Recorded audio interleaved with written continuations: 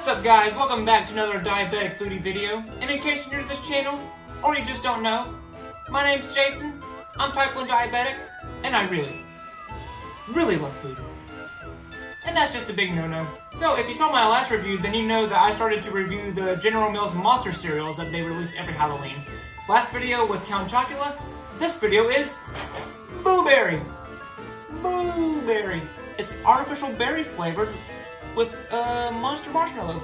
Now on the back we got Meet Boo, the ghost with the most. Boo Berry is the backbone of the band, which is pretty remarkable for someone without a skeleton. I'm a skeleton. When he is not busy keeping Frankenberry and Count Chocula from fighting over whose songs and whose cereals are the best, he's laying down wicked electric guitar solos on the new Monster Mash. And just like with Count Chocula, we also have some uh, dance moves or fancy footwork here. So, guess I gotta do that now. First I have to wave my ghost arms in the air. Like this. And then it says to swivel your hips. Like this. Or like this. Probably like this. Then stop and go boo. Okay? Boo. They did the monster mash. the monster mash. It was a graveyard They did the mash. It caught on in a flash. They did the Boo! Boy, wasn't that scary. smells a lot like berries. I like it.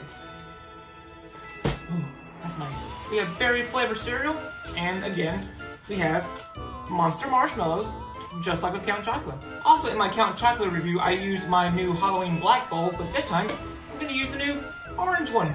All right, Boo Berry cereal. Let's go.